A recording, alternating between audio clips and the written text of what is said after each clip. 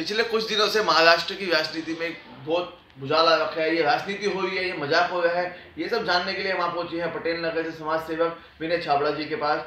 काफ़ी राजनीति के बारे में जानते हैं और काफ़ी लंबा समय इनका राजनीति में रहा है तो वो इसे जानते हैं। राजनीति क्या हो सकती है?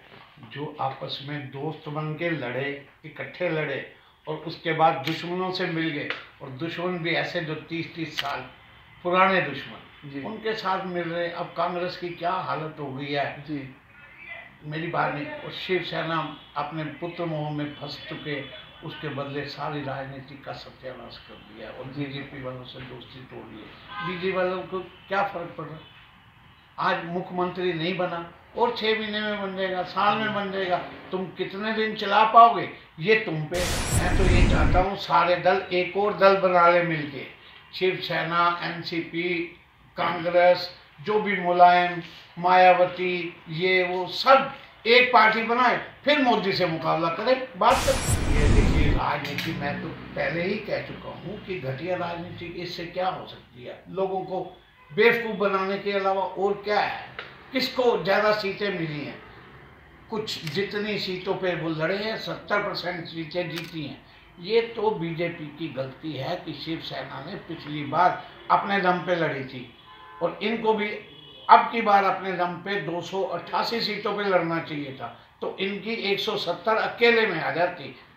किसी और के बस का नहीं है सरकार चलाना। चाहे वो हरियाणा में देख लो चाहे कहीं और देख लो महाराष्ट्र में भी देख लो वोट बैंक बड़ा है। नहीं आया था ये मैं मान रहा हूँ। लेकिन उनका वोट बैंक तो बड़ा था परसेंटेज उनकी छत्तीस से चालीस हो गई है। इसलिए वहाँ कोई ऐसी दिक्कत नहीं है। दूसरी, साथ मिल के बनानी ही पड़ती है, जब आपके पास बहुमत ना हो तो। अच्छी बात है ना, लेनी चाहिए उनको शपथ। मैं तो चाह रहा हूँ कि भाई उनकी अपना पर्पस पूरा हो गया कि मुख्यमंत्री शिवसेना का बनेगा, उनका हो गया, चाहे आगे कितना नुकसान हो क्या हो कांग्रेस के दुश्मन आज दोस्त बन बैठे हैं? तो अच्छी बात है।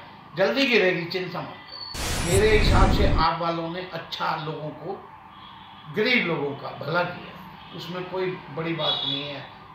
जीतेंगे।